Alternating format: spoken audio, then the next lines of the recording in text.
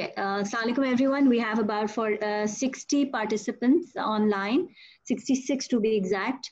Um, welcome to this webinar. Um, it has it's it's a pleasure for PSX that uh, Ali Farid Saab has agreed to join us and impart his knowledge to the audience when whenever we at the stock exchange um, you know meet people meet generally investors this question comes up again and again. ji aap tip de dein uh, please tell us which stocks we should uh, you know we should uh, opt for. Uh, what should be in our portfolio? Which are the sectors? So in order to answer those questions obviously the stock exchange cannot uh, speak about it or talk about it. So we have um, been kind enough to have Mr. Ali Farid Khwaja share his knowledge and expertise from KSB Securities. So I'd like to welcome him a little about him. He has about 15 years of experience in the field of equity research and investments, not only in Pakistan, but also abroad. Formerly, he was a partner at Autonomous Research, which is now a part of Alliance Bernstein. He is an ex-CFO and board director of Safe Charge Group, LSE SHN. Uh, it's a global fintech company, which is top ranked, uh, you know, among the um, uh, globally.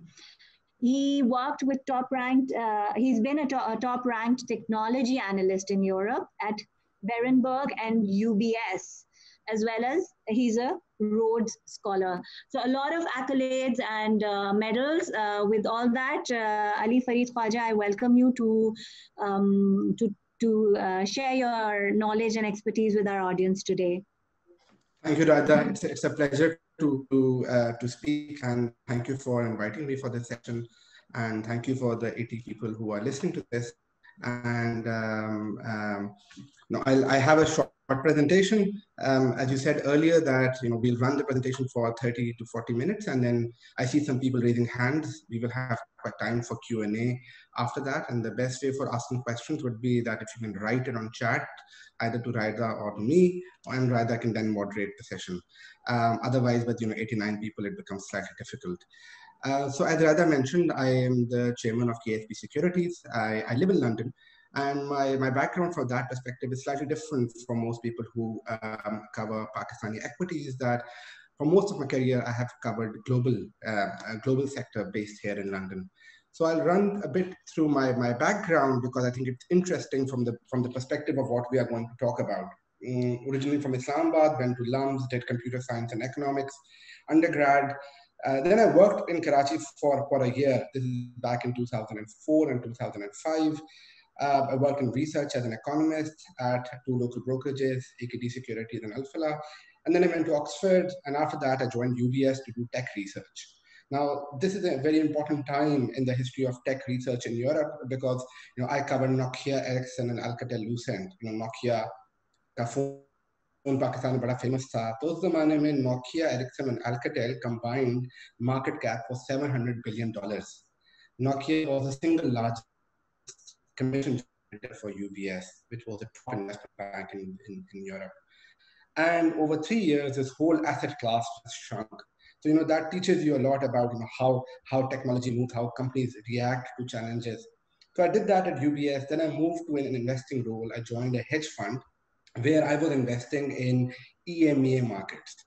So Russia से Eastern Europe, Middle East, Africa, Pakistan uh, Africa, Egypt, the tip of Africa, which is South Africa, where my equity. Then I moved back to do global tech research at Berenberg, where I covered companies such as Apple, Samsung, um, uh, Visa, MasterCard, Western Union. So focusing on financial technology, but companies in the space of data centers, semiconductors. तो जो कुछ मैंने deals बेरनबर्ग में की उसमें से कुछ company जो आप लोगों को पाकिस्तान में पता होगी, जैसे दराज ई कॉमर्स की कंपनी है पाकिस्तान में, उसकी मदर कंपनी है रॉकेट इंटरनेट मैंने उसका आईपीओ किया। आपके आईफोन्स के अंदर और आपके फोन्स के अंदर एक ग्रीन कलर का बोर्ड लगा होता है, जैसे प्रिंटेड सर्किट बोर्ड यानी पीसीबी कहते हैं। वो एक ऑस्ट्रियन कंपनी बनाती है एटीएनएस मैंने उनके लिए पैसा रेज किया। अगर आप दुबई जाए या अमेरिका जाए तो आपकी गाड़ी पे स्टिकर लगा होता है पार्किंग के लिए और रोड पे टोलिंग के लिए वो एक कम, एक और ऑस्ट्रियन कंपनी बनाती है जिसका नाम है कैश ट्रैफिक कॉम मैंने उनके लिए पैसा रेज किया So across Europe, I've raised money for companies from Germany to Spain to Sweden, um, and I raised around $10 billion um, at, um, at my last role at Berenberg. And then I became, as Raida mentioned, I was CFO of SafeCharge, जो कि UK में एक company listed थी and then it got acquired for a billion dollars and two years ago I joined KSB Securities in Pakistan. And the reason I joined KSB Securities in Pakistan was that I thought there's massive potential. Uh, of Pakistan, I thought okay, it's a market which is undercovered in terms of its potential. And there could be a massive gain which can be made by connecting global capital uh, to Pakistan. So my aim ke, to use my background, my contacts, my, my, my work history and experience uh, to connect global capital. Uh, वो America से हो या China से हो Japan से हो to bring that money into Pakistan. And that was one of the aims for joining KSB. Now, KSB, of course, has a very long history in the capital markets in Pakistan. They have been a pioneer, starting from Mr. Khadim Ali Shah Bukhari, who's founded the company in 1952. Uh, and, you know, since then, KSB has played a, a, a, very important and critical role in capital markets development in Pakistan.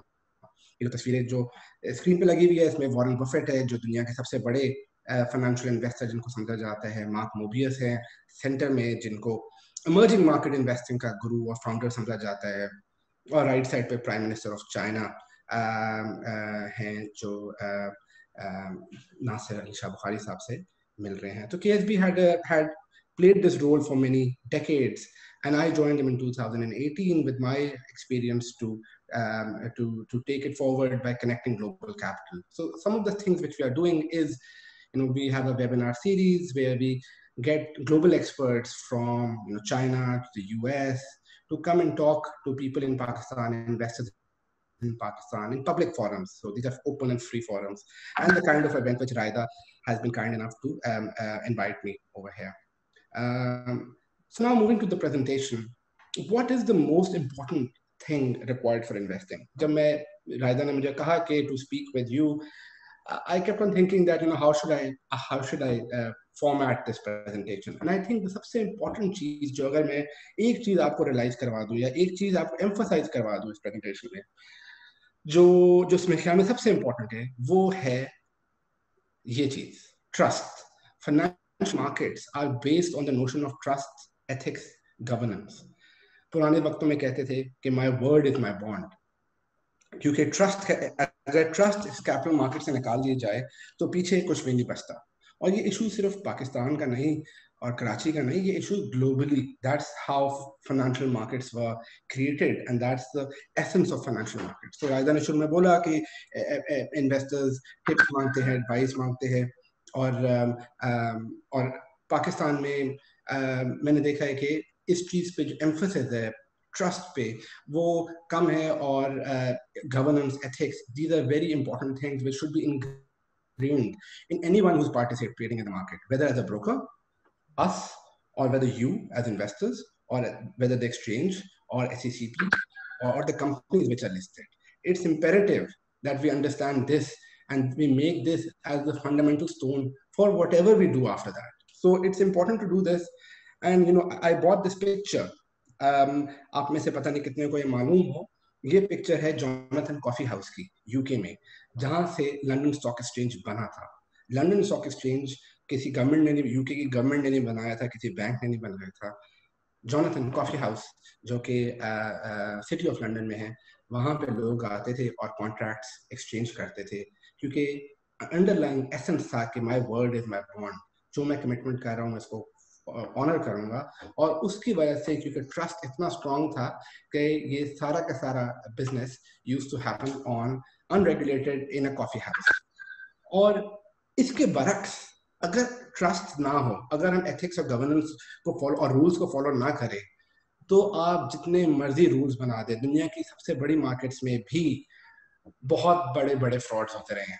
Left side पे जो पहली picture है, ये Enron के CEO है, जो कि उस जमाने का अमेरिका का सबसे बड़ा फ्रॉड था। The company went down to zero it was one of the mega caps oil and gas companies दरमियान में Satyam Indian IT company again accounting fraud the company went down to zero the CEO went to jail तीसरा, अभी हाल ही की example है Wirecard Germany की company 40 billion market cap इसकी थी, जो कि दो हफ़्ते के अंदर ज़ीरो पे चली गई to put that in perspective Pakistan का पूरा स्टॉक एक्सचेंज की मार्केट कैप 40 बिलियन डॉलर है। एक कंपनी में जर्मनी में से ज़्यादा बड़ा लॉस हुआ है।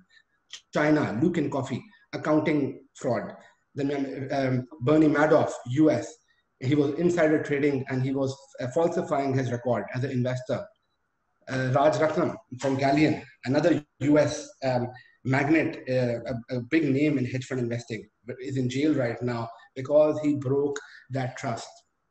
तो इसलिए मैं इस बात से शुरू करना चाहता हूँ कि it's fundamental that you understand this you appreciate it and आप इसको अपनी लाइफ का और अपनी इन्वेस्टमेंट फिलोसफी का एक हिस्सा हिस्सा बना दे क्योंकि अगर आप नहीं बनाएँगे तो ग्रीड की वजह से sooner later you going to have a loss and this is something which can not be stopped Uh, by rules. This cannot be stopped by enforcement. This is something which you have to ingrain in yourself. जैसा मैंने बताया कि Jonathan Coffee House में बुनियाद रखी गई थी stock exchange की यूके की और it was all on the basis of trust so now moving to the second point, why should you invest? And i'm conscious that आप लोग ज़्यादातर जो ये सुन रहे हैं वेबिनार आपको इन चीज़ों का पहले ही पता है क्योंकि आप स्टॉक मार्केट में इन्वेस्ट करते हैं। मगर मेरे लिए इंपॉर्टेंट है इस बात को रेज करना क्योंकि going back to the first principles are very important क्योंकि आपकी बुनियाद अगर अच्छी होगी तो आपकी स्टॉक सिलेक्शन अच्छी होगी, आपकी इन्वेस्टमेंट अच्छी होगी और आपका जो पूरा का पूरा मनी मैनेजमेंट का जो एम है, वो अच्छा होगा। So it's very important to take step back and understand कि आप क्यों कर रहे हैं इन्वेस्ट तो why should you invest you should people generally invest because save because of two reason एक as a insurance for a rainy day retirement health care आप hospital जाने का खर्चा हो सकता है। तो you need to save from your current income in order to protect your self from any of these unplanned spending दूसरा जो रीजन है जिसकी वजह से आपको सेव करना चाहिए, वो है as a second income for a future need आपने अपने बच्चों की शादी करानी है, उनकी एजुकेशन करानी है, आपने हॉलीडेज पे जाना है, हज उम्र के लिए सेव करना है, घर सेव करना है। इन सारी चीज़ों के लिए आपको अपनी तनख्वाह में से, अपनी इनकम में से कुछ हिस्सा सेविंग के लिए डालना ज़रूरी है। ना सेविंग के लिए हम सेव कहाँ सेव सेविंग के लिए हम इन्वेस्ट क्यों करें? सेविंग के लिए इन्वेस्ट इसलिए करें क्योंकि अगर आप इन्वेस्ट नहीं करते तो आपकी सेविंग्स को इन्फ्लेशन खा जाती है। आपने सोचा, जैसा मैं, जिस, मैंने बोला कि मैंने लम से पढ़ाई की, जिस जमाने में मैं लम से पढ़ता था, उस जमाने में उसकी साल की फ़ीस होती थी डेढ़ लाख रुपए। अब लम्स की फ़ीस दस लाख रुपए है। तो दस गुना ज़्यादा सेविंग हो गई है। तनख्वाही इतनी स्पीड से नहीं बढ़ी, मगर खर्चे जो हैं, वो स्पीड से ज़्यादा बढ़ गए। तो अगर मेरे पेरेंट्स ने मेरे पेरेंट्स जो थे, वो एकेडेमिया में थे, वो यूनिवर्सिटी में प्रोफेसर थे। उन्होंने सेविंग्स करके मुझे लम्स भेजा लम्स में कुछ स्कॉलरशिप दी। तो अगर उस वक्त ये सेविंग्स उनकी जो है इन्फ्लेशन के साथ इंक्रीज ना हो रही होती तो जो उनका पैसा पड़ा हुआ था, उसकी वैल्यू कम होती गई। इसलिए बड़ा इंपॉर्टेंट है to protect your saving you need to invest now we move on to where can we invest now investment की बड़ी ऑप्शन है। अगर मैं अपने फादर से पूछूँ तो उनकी सेविंग्स जो है बैंक अकाउंट में है, कुछ रियल इस्टेट में है। कुछ गोल्ड में है। ये ज़्यादातर इन तीनों चीज़ों में उनकी सेविंग है। और उनको पेंशन से जो पैसे मिले थे, वो नेशनल सेविंग्स में मगर इसके साथ साथ और भी ऑप्शन है। Stock market is one bonds is another commodities another currencies is another one so it's important that when you are investing you should think from an asset allocation perspective and you take a 360 degrees view. Why is that important? This goes to a second rule of investing. पहला rule मैंने आपको बोला था is about trust. It's about following the rules. It's about governance and it's about ethics. The second rule for savings is this diversification. Diversification क्या है Diversification ये है कि आपको या किसी को या मुझे नहीं पता कि कौन सा एसेट क्लास की परफॉर्मेंस कैसी रहेगी हमें ये पता है कि परफॉर्मेंस वेरी करेगी क्योंकि हमें ये बात पता है कि परफॉर्मेंस वेरी करेगी मगर हमें ये नहीं पता कि किसकी परफॉर्मेंस कैसी रहेगी इसलिए the best way of investing is diversify your your money this is an example yeah आपको मैं actual data दे रहा हूँ is the data uh, I think this is produced by Merrill Lynch and this is the asset performance of various asset classes over multiple years तो अगर आप देखें कि 2020 में गोल्ड ने सबसे अच्छा आउट परफॉर्म किया ग्यारह eleven point seventeen percent return है और ये डेटा थोड़ा पुराना है मेरे ख्याल में अब ये पंद्रह परसेंट तक रिटर्न होगा गोल्ड का मगर गोल्ड को आप 2015 में चले जाएँ तो गोल्ड की परफॉर्मेंस बॉटम थे सबसे तीसरे नंबर पे थी और 2013 में चले जाएँ तो गोल्ड में आपको 27 परसेंट डिक्लाइन हुआ था। इसी तरह एक्विटीज ले लें तो M S C I emerging markets जो कि 2020 में 11 परसेंट डिक्लाइन था, ये 2017 में 38.7.8 परसेंट इसमें इंक्रीज था। तो ये जो डेटा आपको शो कर रहा है और ये ग्लोबल डेटा है पाकिस्तान का नहीं है। ये ये एक चीज़ शो कर रहे हैं कि आपको एक और नहीं पता कि कौन सी चीज़ आउट परफॉर्म करेगी और इसमें वॉलिटिलिटी होगी।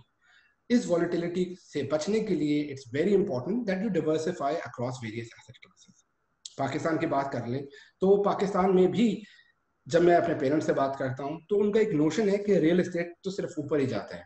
ये नोशन गलत है। ये नोशन गलत इसलिए आप डेटा देखें ज़मीन डॉट कॉम का तो ये ज़मीन डॉट कॉम का डेटा आपको शो करता है कि even in Pakistan real estate in Karachi Lahore and Islamabad has gone down as well as gone up of course but it also goes down in short periods. So from an asset allocation perspective, you need to और यही golden rule है जिसको दुनिया के experts ने भी इसके बारे में बात की गई है और रिकमेंड किया है। बेंजामिन ग्राहम जो कि वॉरेन बफेट के गुरु समझे जाते हैं जिनको जिन्होंने बुक लिखी हुई है इंटेलिजेंट इन्वेस्टर वो भी डाइवर्सिफिकेशन रिकमेंड करते हैं। रे डालियो, जो कि आजकल बड़े मशहूर है, बड़ा कोट किए जाते हैं उन्होंने बुक लिखी है recently which is the best seller and he also says that the most important thing you can have is a good strategic asset allocation mix so this is a fundamental point which I want to tell you guys कि जब आप stock market में invest करते हैं, उससे पहले आप सोचें कि आप क्यों इन्वेस्ट कर रहे हैं। सबसे पहले आप बुनियाद रखें कि आपने एथिकल एथिक्स और ट्रस्ट को ब्रेक नहीं करना। फिर आप जब अपने मनी को एसेट एलोकेशन परस्पेक्टिव से देखें कि डाइवर्सिफाई करें across across various asset classes even with in stocks you should diversify because nobody nobody knows for a fact how things will look in the future क्योंकि गैब का इल्म तो सिर्फ़ अल्लाह को ही है। तो मगर that's why it's very very important to understand this and make this a principle of investing now PSX is a great platform for diversification the reason why it's great मैंने आपको शुरू में बताया कि मैंने अपने करियर में रशिया में भी इन्वेस्ट किया है पोलैंड में भी इन्वेस्ट किया है जर्मनी में भी इन्वेस्ट किया है मिडिल ईस्टर्न इकोनॉमीज से लेकर अफ्रीका तक मैंने इन्वेस्टमेंट की है। ज़्यादातर एक्सचेंजेस जो हैं, वो बड़ी ही कॉन्सेंट्रेटेड है। जिस तरह ज़्यादातर इमर्जिंग मार्केट्स में bank 60 to 70 percent of asset class होते हैं। कुछ मार्केट्स में सऊदी की सऊदी अरेबिया की एग्ज़ाम्पल देख ले कि Saudi Aramco is a major part of the index now. Or baki jo chemicals, chemicals in Saudi Aramco and then banks are the three sectors which dominate that market. Russia mein chale jaye, so again, metal and mining is massive over there. Pakistan ki stock exchange, the reason why I like it and the reason why one of the reasons which I thought was a massive selling point of Pakistani stock market, why I left my career in the UK to do this in Pakistan, was it's a very diversified market. 400, 500 odd companies are listed across various asset classes. Banks, oil and gas, cement, fertilizers, power, ये सारी बातें आपको पता है मगर दो चीज़ें जो ज़्यादा इंपॉर्टेंट है वो ये है कि PSX has proven to be uncorrelated with other asset classes. Merrill Lynch ने 2005 में एक रिपोर्ट पब्लिश की और उन्होंने उसमें लिखा कि पाकिस्तान के मार्केट का one of the top selling point ये है कि पाकिस्तान की मार्केट दुनिया की मार्केट से कम को रिलेशन है इसकी और को रिलेशन क्यों इंपॉर्टेंट है? को रिलेशन इसलिए इंपॉर्टेंट है, जो हमने पहले पॉइंट बोला था डाइवर्सिफिकेशन कोरिलेशन का मतलब यह है कि जब दुनिया की मार्केट नीचे जा रही होती है तो पाकिस्तान मार्केट हो सकता है ऊपर जा रही हो हो सकता है फ्लैट हो, उसका कोई डायरेक्ट रिलेशनशिप नहीं है दूसरी मार्केट्स के साथ. और वो इसलिए नहीं है क्योंकि हमारी मार्केट डिवर्सिफाइड है. अगर हमारी मार्केट में 70 परसेंट ऑयल एंड गैस होता तो ये डिवर्सिफिकेशन यकीन खत्म हो जाती. इस तरह जब आप देखें दुनिया में ऑयल प्राइस ऊपर जा रही होती है तो ब्राज़ील की मार्केट ऊपर जाती है रशिया की मार्केट ऊपर जाती है मिडल ईस्ट की मार्केट ऊपर जाती है। मगर जब ऑयल ऊपर जा रहा होता है तो इंडिया की मार्केट नीचे जाती है। चाइना की मार्केट नीचे जाती है क्योंकि these are negatively correlated with oil prices Pakistan good thing is that Pakistan is a diversified stock market um, जिसमें एफ़ से लेकर Colgate Palmolive Nestle Pak tobacco से लेकर सीमेंट्स और टेक सिस्टम्स टीआरजी जैसी कंपनी भी आपको मिलती है so it's it's it's a very strong attraction of Pakistani stock market and lastly diversification of investing in stocks helps you against uh, uh, the declining interest rate. My colleague, I was talking to my father जैसा मैंने बोला कि he he was an in the academia he was a professor of physics and after retirement he put his money in national savings and national savings में अब return उनका कम होके सात से आठ परसेंट पे हो गया है और it's important for him to diversify because अगर inflation खासतौर पे उनकी इन्फ्लेशन अगर 10 परसेंट से ऊपर से बढ़ रही है तो अगर वो डिवर्सिफाई नहीं करते और 7 परसेंट का रिटर्न लेते हैं तो उनकी पैसे की वैल्यू कम होती जा रही है so it's important that stocks give you that kind of diversification now moving to which stocks and i know, you know a lot of the people on this on this call would be more specific want to be more specific specific मगर I think it's important to understand the big picture and it's very very important because specific तो आपको um, बाकी सबसे सबसे भी मिल जाते हैं। Specifics तो आपको इनफैक्ट थोड़ा ज़्यादा ही मिलते हैं, जिसकी वजह से मेरे ख्याल में प्रॉब्लम है एथिक्स और गवर्नेंस का। और इसलिए मैं आपको ये एहसास देना चाहता हूँ, ये पॉइंट देना चाहता हूँ कि you have to take you have to consider and learn about the rules of investing now the first critical rule is discipline and long term focus. ये चार्ट है, ये कैपिटल जो कि one of the top five asset manager in the world है, उन्होंने ये chart publish किया है। This is M C world index और ये आप देख रहे हैं इसकी मंथली परफॉर्मेंस मंथली परफॉर्मेंस अगर आप देखेंगे तो आप इसको अगर प्रिडिक्ट करना चाहेंगे तो कोई ये प्रिडिक्ट नहीं कर सकता। अगर आप मुझसे पूछेंगे कल मार्केट कैसी होगी जो लोग पूछते हैं और एक्सपेक्ट करते हैं मैं नहीं बता सकता आपको। मैं भी नहीं बता सकता और मैं नहीं कहता कोई भी आपको बता सकता है। क्योंकि stock market volatility is very, very hard thing to predict in the short term. This is not just true for Pakistan, this is true globally. So when you get that tips, and I know it's easy to get that tips, question, question that do you think that this, this guy, आप सोचे कि क्या जो बंदा आपको tip दे रहा है उसको वाकई पता है क्या ऐसा पॉसिबल है क्या उसने लाखों करोड़ों रुपए स्टॉक मार्केट से बना लिए हैं क्योंकि अगर उसने खुद बनाने अगर अगर वो आपको बता रहा है तो आपको क्यों बता रहे हैं आप उस, उसको क्या फ़ायदा हो रहा है आपको बताने से it's very, very difficult, if not impossible, to predict short-term movement. But most people get bogged down with this. They look this at this kind of volatility and they forget this. This is the long-term view of the same chart. This is MSCI All Country Index. And this is the yearly return. और पहले जो आपने graph देखा था वो monthly return था monthly return की prediction की वजह से आई डेली फोरकास्टिंग करने की और डेली पोजीशन लेने की वजह से लोग इस चीज को मिस कर देते हैं so these are both the charts side by side of MSCI World Index. And left side, monthly volatility, daily volatility, which is most, which is what most of people want to know. But unfortunately, nobody knows the answer. But what we can know and what we can learn and what we can predict is the thing on the right side, which is the long-term performance, because that's driven by the company's performance.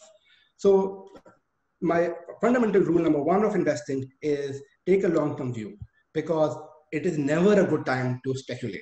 You know, this is a quote from Mark Twain, and he's a famous writer. He's not an investor, but I thought that, that the quote was pretty good. कि वो कहता है कि October is one of the particularly dangerous uh, months to speculate in stocks, and the others are July, January, September, April, November, May, March, June, December. यानी कि speculate करने के लिए कोई भी time अच्छा नहीं है uh, and it's very true. So coming to Pakistan, I know stock market had very strong rally over the last 12 days. It's up 35% since March.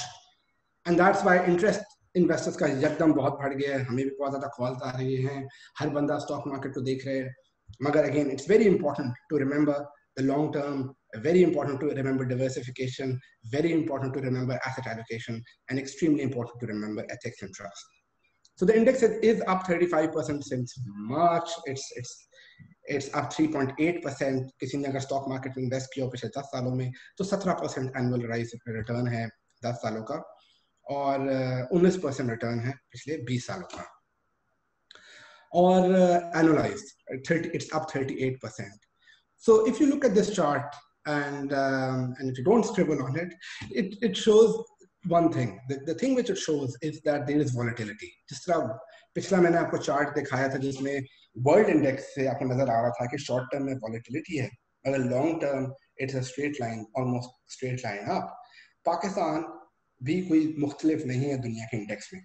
तो अगर आप देखें 2007 में से डिक्लाइन हुआ मार्केट का 2008 तक मगर उसके बाद 5000 के लेवल से मार्केट गई टू 55,000 लेवल सो ग्यारह टाइम्स इंक्रीज दरमियान में इधर भी डिक्लाइन आया और उसके बाद फिर it broke that level And again it has gone down मगर what history tells us is that if the underlying corporate earnings are growing, the stock market will go back up.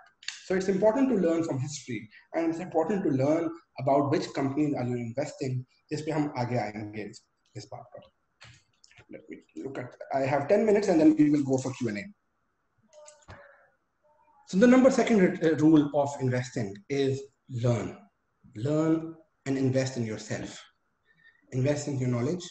Invest in learning about the companies. आप सीखें कि जिन companies में आप invest कर रहे हैं उनका सिर्फ़ नाम सुन के इन्वेस्ट ना करें उनके बारे में पढ़ें उनके बारे में सीखिए इन्वेस्टिंग के बारे में सीखें C F A curriculum is a great program we have made up uh, an online course on it which is for free it's on ksp.teachable.com 2000 से ज़्यादा लोग इस वक्त registered है उस course में it's it's a free master class taught by 12 experts in finance from the US to Hong Kong CFA का curriculum वैसे बहुत अच्छा है PSX has a lot of good resources on its material all brokerage houses publish a lot of research read, and most importantly, thanks to PSX and the work which they're doing, सारी companies के websites पर उनके annual report, उनकी presentation, उनके historical numbers पड़े हुए हैं. PSX की website जो कि बहुत अच्छा resource है इसमें DPS के अंदर you can find all of these resources. So when you're investing, and now there are 133 of you who are on this call, it's important that when you're investing, do the research on the companies, do the research on um, and try to find good companies. And this is the kind of work which we do and which I, some of the work which I will share with you. Okay, we try to look for companies which are good companies, which are, um, and we try to look from the long term. But we confess, I confess, that we don't have visibility of predicting next day or the day after tomorrow, and nobody else does as well. So it's very, very important that take a long-term view, look from an asset allocation perspective, think about trust, and talk to people who are trustworthy. But most importantly, invest in yourself. Apne aap ke invest karein. So one theme which is very dear to me, and I think which will drive uh, the asset prices in Pakistan and create shareholder value for investors, is finding companies which are inherently good companies. There's a big th- मुझसे बोला गया था रायदा ने और जो इस webinar का topic भी है कि कौन सी कंपनीज़ है जिसमें इन्वेस्ट करना चाहिए? पाकिस्तान में वो कौन सी दस कंपनीज़ है जिसमें इन्वेस्ट करना चाहिए? तो कमिंग टू दैट टॉपिक मेरे ख्याल में पाकिस्तान में जिन कंपनीज़ में इन्वेस्ट करना चाहिए, ये वो कंपनीज़ है जिनका एक गुड सोशल पर्पस भी होना चाहिए। सोशल पर्पस इसलिए इम्पोर्टेंट है क्योंकि अगर एक कंपनी अपने एम्प्लॉयज़ को, अपने शेयर होल्डर्स को, अपने सोसाइटी को, अपने एनवायरमेंट को अपनी कंपनी को प्रोटेक्ट नहीं कर रही तो एवेंचुअली वो उस कंपनी की अर्निंग्स उससे इफ़ेक्ट हो जाएँगी। मैं आपको एग्जांपल देता हूँ। फॉर एग्जांपल टोबैको कंपनी एक टोबैको कंपनी है जिसका प्रोडक्ट की वजह से लोगों को फ़ायदा नहीं, नुकसान हो रहा है, उनकी हेल्थ पे इफ़ेक्ट हो रहा है। बेशक वो कंपनी आज जितना मर्ज़ी प्रॉफिट बनाती रहे, मगर फ्यूचर में जब उसकी वजह से लोगों की हेल्थ पे बुरा इफ़ेक्ट आएगा तो eventually that will start people will start government start to step in and say कि ये प्रोडक्ट पे टैक्स और लगाओ प्रोडक्ट को बंद करो। और उसकी वजह से उसके प्रॉफिट फ्यूचर में कम होते रहेंगे। एक और मैं आपको एग्ज़ाम्पल देता हूँ सीमेंट अगर एक सीमेंट कंपनी है जिससे वजह से बहुत ज़्यादा इन्वायरमेंटल पोल्यूशन हो रहा है, और वो इन्वेस्ट नहीं कर रही अपने प्रोसेस को इम्प्रूव करने के लिए तो इवेंचुअली उसके ऊपर सैंक्शन लग जाएगी कोर्ट्स आ जाएँगे, कहेंगे कि आप पे फाइन लग रहा है।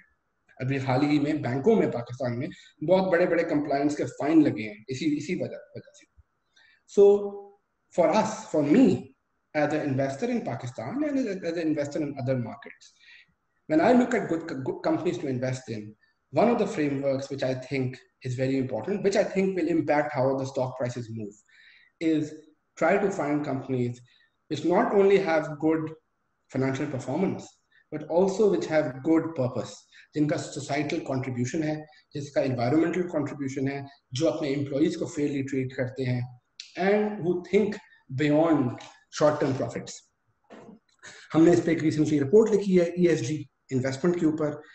इस वक्त ग्लोबली थर्टी ट्रिलियन डॉलर के एसेट इस तरह का फ्रेमवर्क जिस जी फ्रेमवर्क कहते हैं environmental social and governance framework उसको फॉलो कर रहा है। क्योंकि थर्टी ट्रिलियन डॉलर्स इसको फॉलो कर रहे हैं तो जब ये पैसा पाकिस्तान में आएगा तो ये पैसा और आता है पैसा पाकिस्तान तो ये इन्वेस्टर स्क्रीन करेंगे उन कंपनीज़ को, जिन कंपनीज़ की ईएसजी परफॉर्मेंस अच्छी होगी। तो जब उन कंपनीज़ में जाएगा जिनकी ईएसजी परफॉर्मेंस अच्छी होगी तो उन कंपनीज़ की stock prices will do better compare to those companies जो ईएसजी में अच्छा नहीं कर रही। और ये हिस्टोरिकल डेटा भी ये शो कर रहा है। ये ऊपर वाला चार्ट जो है, ये M S C I emerging markets index का है पिछले पाँच सालों का पिछले पंद्रह सालों का और दूसरा वाला है पिछले दस बारह महीने का। और इसमें आप देख सकते हैं कि जो ये जो सिल्वर लाइन है this is M S C I हम ई एस जी कंपनीज़ आई ये वो कंपनीज़ है जो इन्वायरमेंटल सोशल और गवर्नेंस स्टैंडर्ड्स पे बेहतर परफॉर्म करती है। इनकी स्टॉक प्राइसेस भी आउट परफॉर्म की है।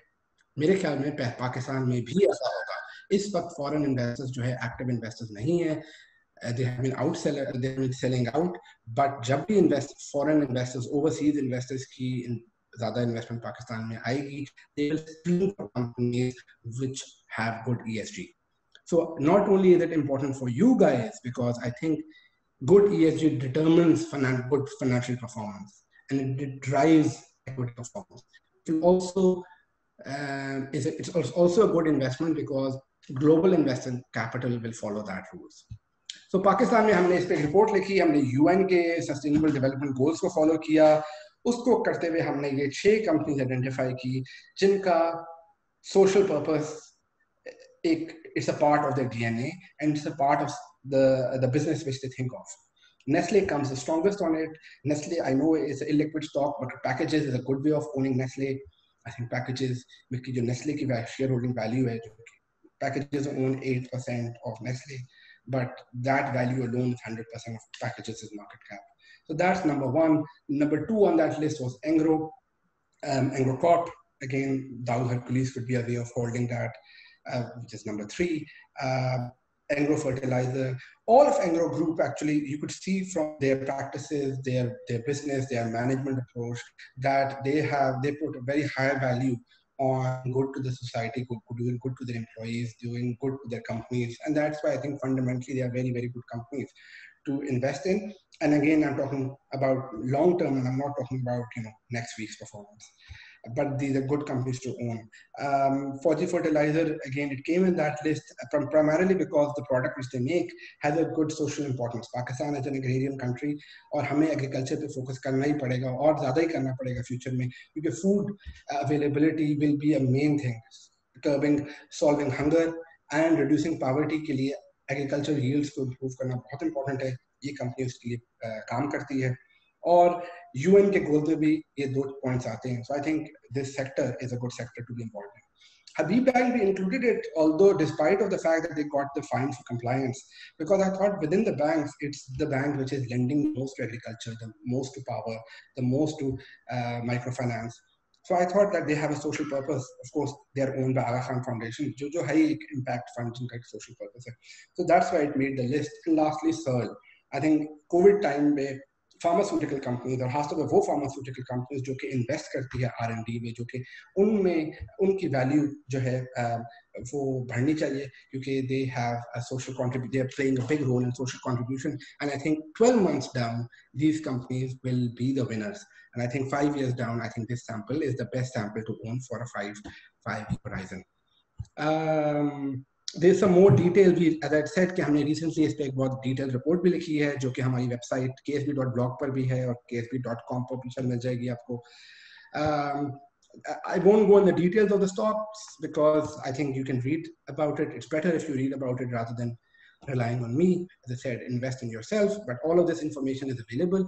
PSX की website में भी इन companies के annual report और ये सारी information available है. So these are the companies. And if you need more information, so KSB's team is available for you. We have a team of research analysts, sales guys who can give you more detailed views on the stocks. Uh, but from my perspective, you know, to, to, to recap, always, always focus on trust because this is fundamental for our contract. It's fundamental for why we are talking, why you know, Raida called me and why you go to this exchange. Uh, the number two is think about diversification, think about some asset it's very important आपके लिए savings बहुत important क्योंकि पाकिस्तान ही तो अपनी savings में, अपनी income में से सेव करना बहुत इंपॉर्टेंट है, जो इकोनॉमी की अब परफॉर्मेंस है अब पक्की नौकरियाँ नहीं होती। अगर हो भी तो जो पेंशन सेविंग्स मिलती है, वो इतनी ज़्यादा नहीं होती कि खर्चे को पूरा कर सके। तो सेव करना बड़ा इंपॉर्टेंट है डाइवर्सिफाई करना बहुत इंपॉर्टेंट है। Stocks is a good way of investing look from a long perspective long term perspective do not invest in short term क्योंकि आपका पैसा नहीं बनेगा। कोई आपको इस तरह की एडवाइस नहीं दे सकता। और किसी का नहीं बन सकता दुनिया में। और लास्टली जब आप डाइवर्सिफाई करके एक लॉन्ग टर्म व्यू ले रहे हैं तो think about investing in good companies which have a good social corporate purpose और मैंने आपको छह कंपनीज़ बताई जो कि मेरे ख्याल में ये सोशल कॉर्पोरेट पर्पस को मीट करती है। So with that over to over to you Raida Um, अगर जो questions है तो please write it down. Rather, you can please um, uh, read some questions and short list and um, tell me the questions. Jay, um, thank you. Um, thanks a lot, Farid. Um, I would begin the questions. Um, सबसे पहला एक question एक comment था उस पे वो वो आपका कमेंट मांग रहे हैं he saying that PSX is skewed by heavy weights like banks and oil what is your comment on it would you like to comment? It, it is, and, and uh, so it's not like it's if you look at the overall um, thing. So I don't remember that number right now, so I don't want to give the number. But I think from what I remember, that cement also has a decent weight, and these are cyclical stocks. So if you you know if you look at their peak multiples, uh, when when autos and cements were at their peak levels, I think their market, their weight on the index, the cyclicals were also probably around 20, 25%. So yes, it is skewed, as in it is heavy, but it's not skewed. Skewed, मैं जब skew देखता हूँ, तो मैं देखता हूँ US market जिसमें इस वक्त tech alone, only tech is around 45 to 50 percent of the market. मैं देखता हूँ Brazil जिसमें metal mining and oil and gas is almost 75 to 80 percent of the market. Um, so from from और मैं अपनी एग्जांपल इसलिए देख रहा हूँ, क्योंकि अर्जिंग मार्केट इन्वेस्टर्स मार्केट को देख रहे हैं, वो इन्हीं नंबर्स के साथ कंपेयर कर रहे हैं। उस कंपैरिजन में पाकिस्तान के market is a well diversified market it's very common in emerging markets to have banks as a major part of the index just because banks जो हैं, वो आपकी इकोनॉमी को पूरे they reflect your overall economy जब economy अच्छी करती है तो बैंक अच्छा करते हैं जब इकोनॉमी श्रिंक करती है तो बैंक पूरा करते हैं। इसलिए almost in all these markets banks have a big stake मगर मैं आपकी बात से इस बात से बिल्कुल एग्री करता हूँ कि पाकिस्तान में tech should have a greater weight new industries should have a greater weight and you know मेरी रायदा से भी डिस्कशन इस बात पे हुई है और पीएसएक्स की बाकी टीम के साथ भी डिस्कशन हुई है। So I know that PSX is very keen allow and encourage new companies to come and list in the market. Uh, अभी जो IPO हुआ है recently the organic meat company वो ऑयल एंड गैस और banks में से नहीं है। uh, मेरे ख्याल में hmm. और भी जो पाइपलाइन में कंपनीज़ जिनके बारे में पढ़ रहा हूँ वो ऑयल एंड गैस और टैंक्स में से नहीं है। So you spot on that अभी इंडेक्स में हैवी है मगर I know that PSX is doing uh, uh, uh, taking an active role in encouraging new companies from new sectors to come and list. Yeah this this i would add to this Lee, that uh, right now in in this current year we have introduced a new board by, uh, by the name of gem board for companies who wish to enlist. These are this is actually for growth enterprise markets. Uh, the new entities or the the upcoming entities to come in and this is to encourage these entities to come and list on the exchange. Um, there is another uh, comment A few weeks back stock market was heavily jolted by fuel uh, all in oil prices do, do what is your comment on that would you like to comment on the fall on the in the impact of the fall on uh, in oil prices on the stock exchange जी जी बिल्कुल oil prices में volatility जो है वो बहुत extreme रही है नेगेटिव प्राइसेस में चला गया जो कभी हिस्ट्री में नहीं हुआ Uh, um, oil is a volatile commodity. Commodity by definition volatile तो होती है mm. ये तो बाय डेफिनेशन वो है मगर आपका पॉइंट बिल्कुल सही है कि जो ऑयल की रीसेंट वॉलेटिलिटी हमने देखी वो it's very difficult to predict and nobody I don't know many people who predicted that और ज़ाहिर बात है वो इसलिए भी हुई कि कोविड की वजह से जो ग्रेट ग्रेट लॉकडाउन हो गया दुनिया में बड़ा यूज़ होता है ऑयल का एयरलाइन एविएशन और ये सेक्टर बिल्कुल बंद हो गया कोविड की वजह से। जिसकी वजह से ऑयल डिमांड कम हो गई स्टोरेज फुल हो गए और कम। जो प्रोड्यूसर थे उनके जो प्रोड्यूस कर रहे थे उनके पास स्टोर करने की जगह ही नहीं थी। तो जिसकी वजह से ऑयल का ये सिचुएशन हो गई कि जिनके पास ऑयल था वो कह रहे थे हम आपको पैसे देंगे आप ऑयल हमसे ले लो और स्टोर कर हम्म। तो ये एक बड़ी यूनिक टाइम था दुनिया की इकोनॉमी पे। और हमने देखा कि वो शॉर्ट टर्म के लिए रहा और उसके बाद ऑयल प्राइसेस काफ़ी हद तक रिकवर हो गई। मेरा अपना व्यू इस पे जो मैंने लोगों को पढ़ा है वो ये है कि I think that oil prices continue to go up as the economy opens up.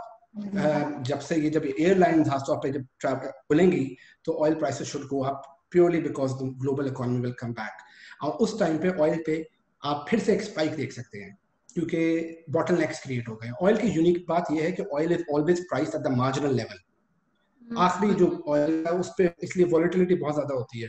अगर मैं आपको I will end with this that you know, in 2008, Goldman Sachs published um, a very famous report in which they predicted that gold oil will go to 200 dollars.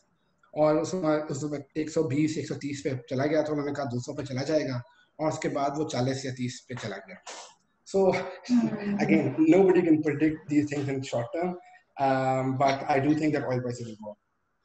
Acha, the next question, which I feel is very uh, interesting and relates to your uh, session, it is: um, Is it necessary to see the balance sheet of a company in which we are going to invest?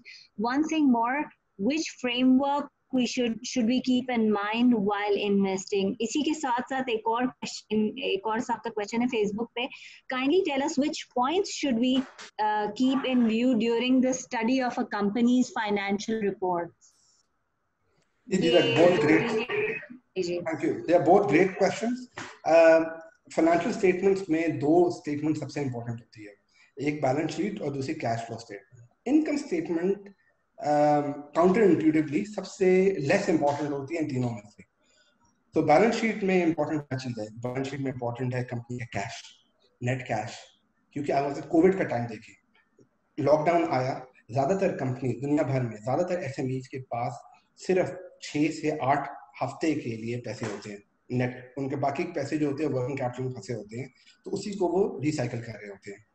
तो जिन Covid की वजह से जिन companies के पास balance sheet में पैसे थे, वो company survive कर गई। जिनके पास नहीं थे, वो कंपनी बंद हो गई।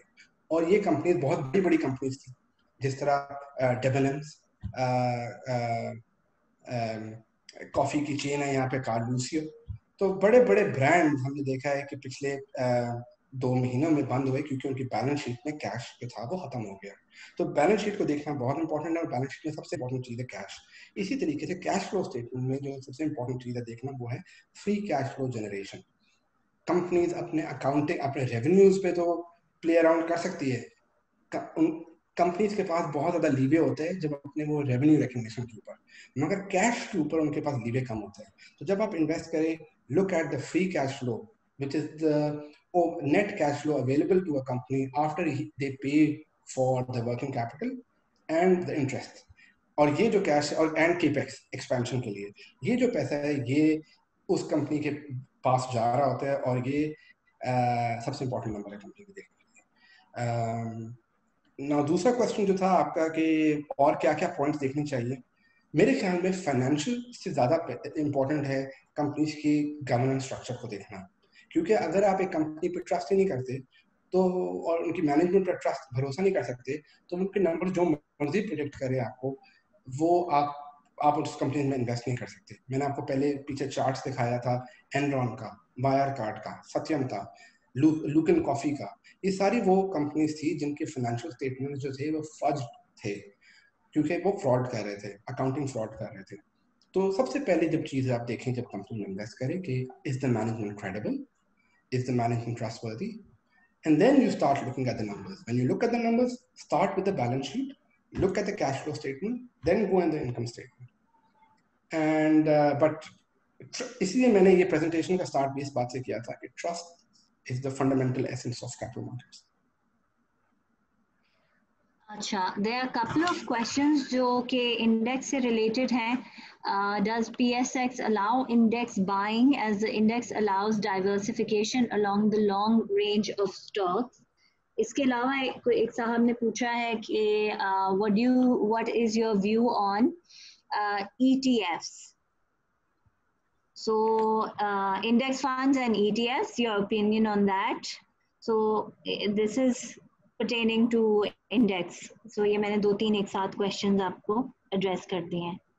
थैंक यू फॉर क्लबिंग दिम राजा एंड ईटीएफ में तो मेरे से ज़्यादा बेहतर आप हैं बात करने के लिए क्योंकि पीएसएक्स ने रिसेंटली पाकिस्तान की हिस्ट्री में पहली दफ़ा ई टी एफ़ लॉन्च किया है। So I think you can tell more about that that so answer is yes there is an ETF yes recently में लॉन्च पर Raja would be great if you can tell something about the ETF which have launched Yeah, regarding the ETFs, we have right now two major ETFs available on the stock exchange. One is UBL uh, ETF and the other is NITG ETF, जो कि NIT uh, uh, जो asset management company उन्होंने introduce किया.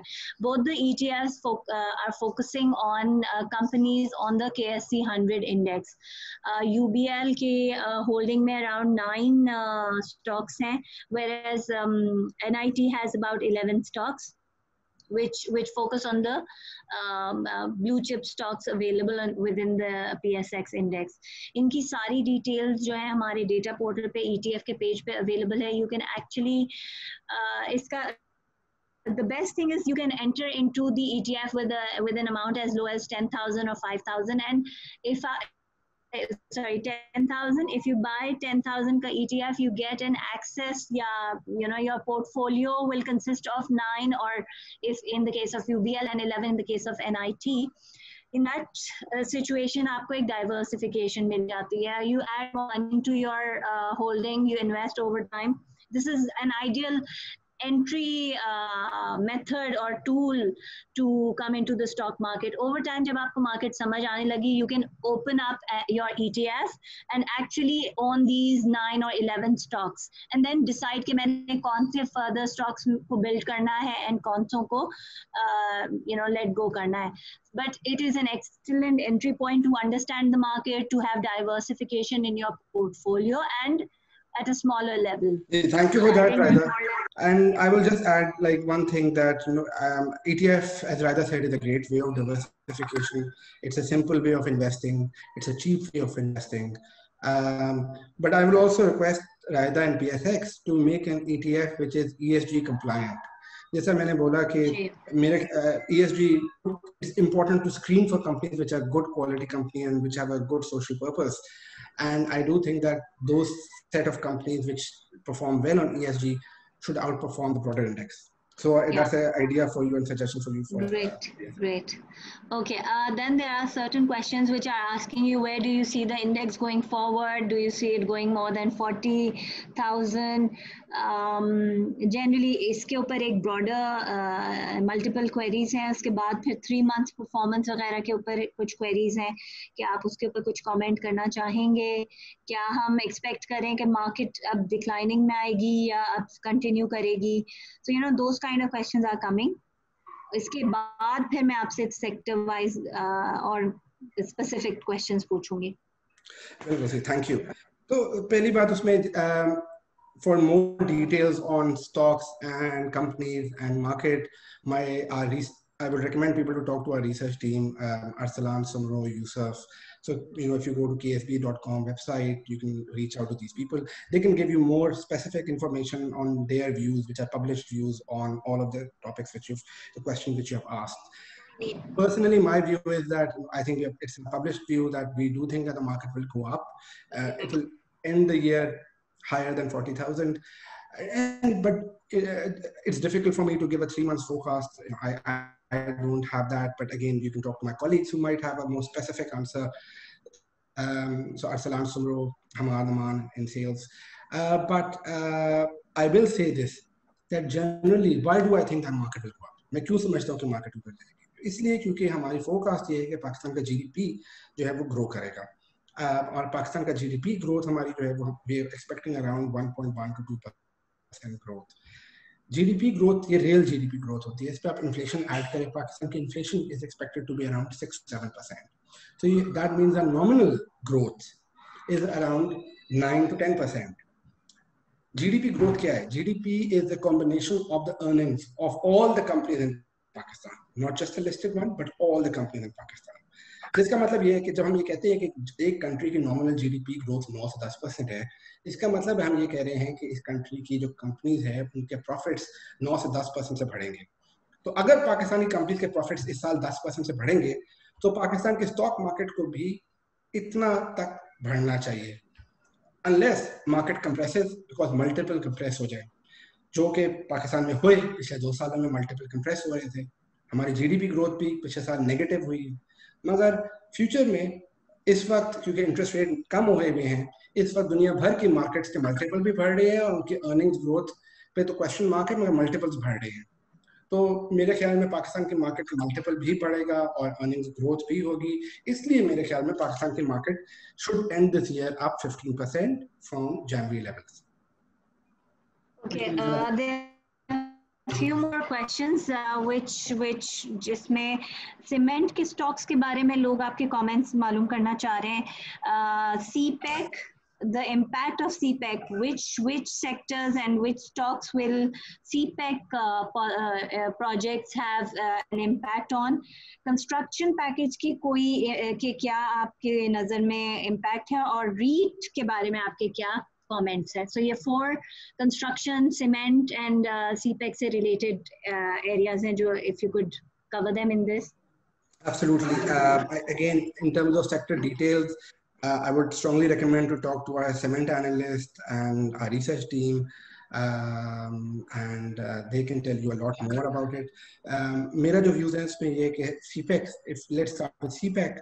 So CPEC में हमने देखा कि पहले तो it was all about construction infrastructure, so power sector, highways, अब जो फ़ेज़ है सी पैक की उसमें we are talking about trade this is a very very important phase and this phase का ज़्यादा इम्पैक्ट आ सकता है हमारी कंपनीज़ पर और हमारी इकोनॉमी पर और इस फ़ेज़ के बारे में मार्केट ने अभी प्राइस इन करना नहीं सोचा। तो इस फ़ेज़ में मेरे ख्याल में जो कंपनीज़ को फ़ायदा होगा वो वो कंपनीज़ हैं जो ट्रेड कर सकती हैं जो चाइना से ट्रेड को शिफ्ट कर सकती है पाकिस्तान और पाकिस्तान से बाहर इंपोर्ट कर सकती है और चाइना इंपोर्ट कर सकती है तो इसमें companies in the textile sector are important. I think Interloop can exploit that opportunity. I think FML can exploit that opportunity. I think you know the, the meat company which recently listed organic meat can exploit that opportunity. So I think it's important from us even from a CFEC perspective to look at the trading, um, the exporters and uh, the companies man in the manufacturing sector who can take some of the manufacturing capacity from China and move it to Pakistan. So I think this is important मेरे ख्याल में China से take China से पाकिस्तान में take के अंदर भी investments आएँगी। कुछ कंपनीज़ लिस्टेड हैं, कुछ और लिस्ट होंगी। So this is another sector Raida ने जेम मार्केट की बात की I am sure that some companies which will exploit that gem market and come to you as to ask for investments will be companies who will be exploiting that investment from China So keep an eye on that. The third question on cement in terms of construction package, you know, it's trivial. So I, there's not much I can add beyond what is already written by so many people.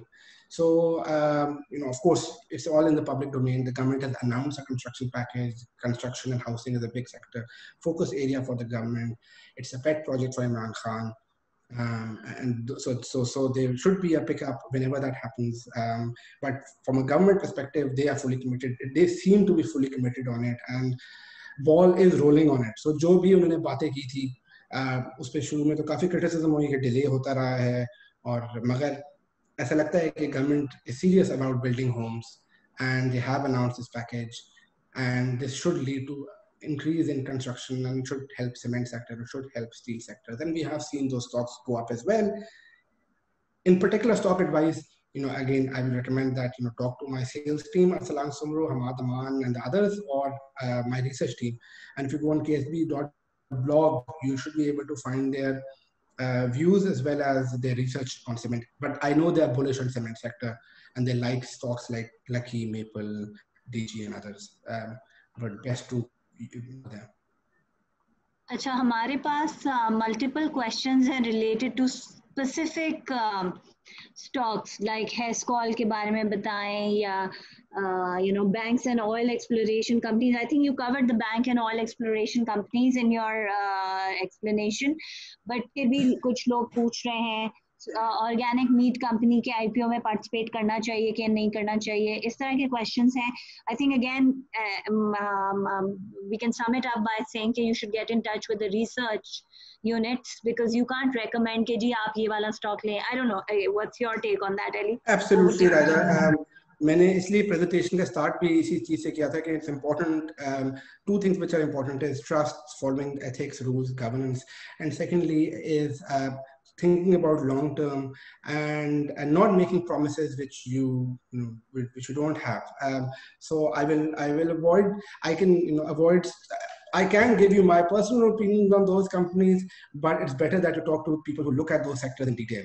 Yeah. And, and I'm not that person. So, yeah. but as I said, in my personal opinion, I gave you a few stocks which I think are good companies, which I think will outperform. And those were the six companies which I mentioned earlier And um, I can go in some details on those stocks, but broadly beyond that, my colleagues are the experts. So, मैं expert नहीं हूँ वो expert है आप उनसे बात करिए ksb.com or ksb.blog पर. Actually, related to the companies, uh, there's this one uh, question that the governance structure of companies in Pakistan have the way to manipulate or find loopholes to keep their reputation secure. How to unmask the facade? I think that that goes back into the studying the balance sheet carefully. Um, Ali, what do you say? Absolutely. जी आप काफी चीजों पे आप income statement पे मैं और मैं पाकिस्तान की एग्जांपल नहीं दे रहा मैंने आपको चार यूरोपियन ग्लोबल कंपनीज की एग्जांपल दी एंड्रॉन दुनिया का सबसे बड़ा accounting fraud Wirecard Germany का सबसे बड़ा अकाउंटिंग फ्रॉड लुकिन कॉफी अभी इसी हफ्ते का चाइनीज फ्रॉड और सत्यम इंडिया का अकाउंटिंग फ्रॉड इन सारे एग्जाम्पल्स में इन्होंने अपनी पी एन एल को जो थी इनकम स्टेटमेंट को पे इन्होंने घपला किया था मगर कैश फ्लो पे घपला करना बड़ा मुश्किल है कैश फ्लो जो है ये वो मनी है जो आपके बैंक में आ रहा है so as an investor when you're looking at companies look at three things please first is you know look do your due diligence on the management if you're uncomfortable with the management then don't invest regardless of what the numbers show and regardless regardless of what the stock price does Pakistan में कई companies है मैं उनके stock price देखता हूँ लोगों मुझसे पूछते हैं कि यार ये बहुत अच्छी कंपनी है स्टॉक इतना बढ़ गया मैं कहता हूँ, नहीं I am not comfortable with the management I am not going to invest in it regardless of what the stock does so आप भी देख सकते हैं मतलब it's it's you know these are easy things but keep this as your primary focus area that I will not invest in companies which are where I don't trust the management and this could be your personal view you know stock market की beauty ये है कि हर moment के ऊपर they the difference of opinion जब कोई खरीद रहा होता है, कोई बेच रहा होता है इसका जो खरीद रहा होता है उसके ख्याल में ऊपर जा रहा है जो बेच रहा होता है उसके ख्याल में नीचे जा रहा है ये स्टॉक मार्केट की ब्यूटी है there that there always always a difference of opinion so इसलिए आपका ओपिनियन मेरा डिफरेंट ओपिनियन मुख्तलिफ़ हो सकता है मगर आप अपने ओपिनियन पे if you don't like a management don't invest in it but when you're looking at the company look at the cash flow statement look at free cash flow generation look at the on the balance sheet how much cash the company has these things typically is very difficult to hide those things and also another thing you should look at is tax how much tax the company gives क्योंकि उस पर वो लाई नहीं करते, क्योंकि उनको government को देना पड़ता है। तो अगर आपको मिसमैच लग रहा है कि कंपनी बहुत प्रॉफिट बना रही है, मगर टैक्स देती नहीं है तो then there issue in that so that's a big red flag there the book called fooling some of the people all of the times David Eisenstein की. I will highly recommend that book अगर if you are interested in knowing more about accounting anomalies We have one question uh, uh, that he's saying that Ali, do, do you or your team cover PSX listed stock and what's your view on it? और इसके अलावा इनका एक और एक और question भी है दैट इज कि रीसेंट उसमें E N P company performances अच्छा नहीं। What do you see why do you see so many foreign outflows from PSX amid covid recovery scenario so overall stock exchange से क्या exit uh, क्यों हुआ है? Why do you see that and the other question was listed listed PSX stock को cover करते हैं क्या आप कि नहीं? बिल्कुल great question uh, Mm-hmm. Uh, पहले तो किसी ने चैट में बुक मांगी है तो मैं दोबारा रिपीट कर दू fooling all of the people some fooling some of the people all of the times so it's a best seller and it's a classic so I highly recommend that now coming to you know two great question पहला PSX we don't cover PSX we don't have a formal recommendation so but I do have an opinion on PSX of course हम सबका PSX में opinion है, इसलिए हम यहाँ पे बैठे हुए हैं और हम ये बात कर रहे हैं और हम स्टॉक मार्केट में इन्वेस्ट करते हैं। और uh, so I certainly have an opinion, and my opinion is that you know if Raida, Farooq Khan, Nadir Rahman, and the new team of PSX if they do well, then uh, and you know they can reach out to you guys, they can reach out to companies. If they execute on the plans they have, then PSX should do well because you know Pakistan. मैंने आपको पहले शुरू में बोला कि मैं London में रहता हूँ मैंने दुनिया की बड़ी बड़ी मार्केट्स में इन्वेस्ट किया है और दस बिलियन डॉलर रेज किया है दुनिया की हर तरह की कंपनी के लिए तो मैं छोड़ के पाकिस्तान इसलिए आया क्योंकि I have believe that Pakistan stock market can should do much better, and I think the returns on Pakistan should be superior than the returns on most of these markets. uh, but it all depends on the management team um, of PSX and how they execute. And I have uh, um, I've, I've, good faith, good feeling, and hope uh, with the new management team of PSX. I think they are doing a great job. Now, moving to how why foreign investors are selling, um, they have been selling since 2017. Um, और um, um, उसके कई वजूहत है। एक तो पहले तो पाकिस्तान की इकोनॉमी में मसला था, वो चले, मसले सारे होते रहे। कोविड के बाद से जो है सेलिंग इसलिए भी आ रही है क्योंकि इमर्जिंग मार्केट फंड में से आउटफ्लो हो रहे हैं। अगर आप ओवरऑल मार्केट देखें तो डेवलप्ड मार्केट स्पेशली यूएस की market has been the best performing market in the world Tesla का stock is up 50% this year so you know uh, there is almost like a bubble in the US market. And the reason why उसमें bubble है इसलिए क्योंकि US ने interest rates negative कर दी है। पाकिस्तान में मैंने आपको बोला कि पाकिस्तान में मैं अपने वाले साहब की एग्जांपल दी कि अब उनको सात परसेंट रिटर्न मिल रहा है नेशनल सेविंग्स में तो वो कह रहे हैं कि मैं किसी और जगह स्टॉक्स में इन्वेस्ट करता हूँ। यूएस में नेगेटिव रिटर्न है। आप अगर बैंक में पैसा डालते हैं आपको पैसे घटते हैं। तो इसलिए वो सारा पैसा जो है स्टॉक मार्केट में जा रहा है जिसलिए यूएस की मार्केट ऊपर जा रही है। उसकी वजह से जो कि जो फंड बाकी फंड्स को पैसा देते हैं, वो पैसा इमर्जिंग मार्केट से निकाल कर फ्रंटियर मार्केट से निकाल कर डेवलप्ड मार्केट्स को दे रहे हैं, जिसकी वजह से इन फंड्स का साइज़ कम होता जा रहा है और उनको सेल करना पड़ रहा है।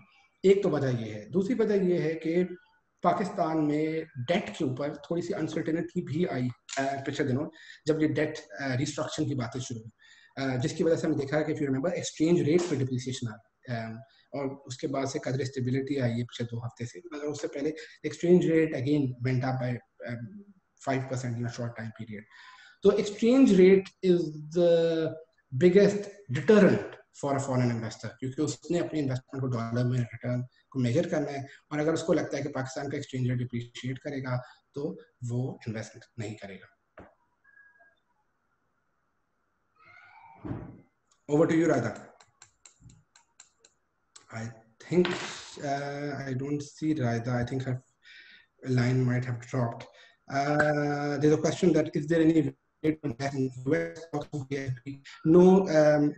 from हमारी ऐप है ट्रेड डॉट पी के जिससे थ्रू आप पाकिस्तानी स्टॉक्स में इन्वेस्ट कर सकते हैं। दुनिया में कहीं भी बैठे हो आप अमेरिका से पाकिस्तान में इन्वेस्ट कर सकते हैं।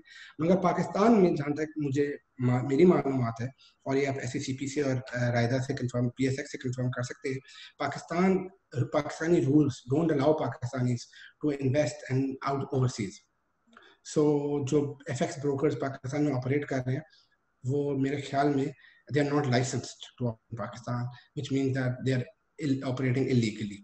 Um, so it's something which I want to warn people that you know when you look at platforms such as eToro or IronFX, and there are a lot of these unlicensed platform operating illegally in Pakistan, you should go on the website. They will have a disclaimer because European yeah, rules yeah. disclaimer डाला है जिसमें लिखा हुआ है कि 80 to 90 percent of people lose money on those platforms.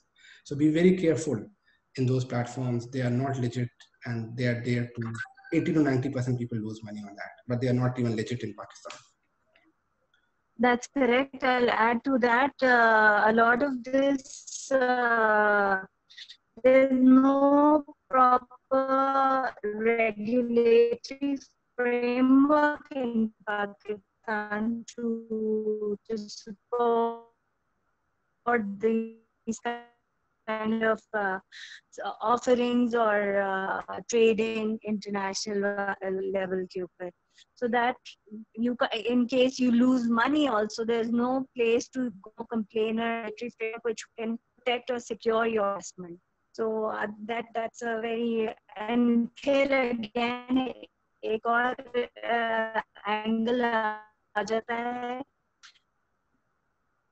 वो funds uh, uh, you don't know AML and uh, you don't know where these this money is going. A lot of it being being राजा आपकी आवाज टूट रही है राजा आपकी आवाज काफी distort हो रही है so we really know money is going also um, एक और there is more question about uh, the technical analysis this is a civil decision or not जी आई थिंक उनकी लाइन ड्रॉप हो गई मगर हर point was correct and point was very valid that FX brokers जो हैं most of them fact, all of them are um, illegally operating in Pakistan, and I would consider them to be a fraud. And again, when you are looking at it, and you know, I'm sure a lot of people of you do it because Pakistan में काफ़ी लोग वो use करते हैं उनकी website पे जाकर और उनके regulator की जाकर उनकी वो disclaimer ज़रूर देखेंगे कि कितने percent people lose money on those platforms. Um, ESMA, which is the European regulator, ने पिछले दो साल crackdown किया के बाद रेगुलेशन नहीं है तो इसकी वजह से ये कंपनी पाकिस्तान आई हुई है इसकी वजह से पाकिस्तान जैसे मुल्कों में इंट्रोडक्टरी ब्रोकर्स ढूंढे हुए हैं बंदे ढूंढते हैं जो इन प्लेटफॉर्म्स पे लाते हैं मगर these guys often operate illegally and you should look at the um, the, the platform. There's a question about tea on uh, organic meat company.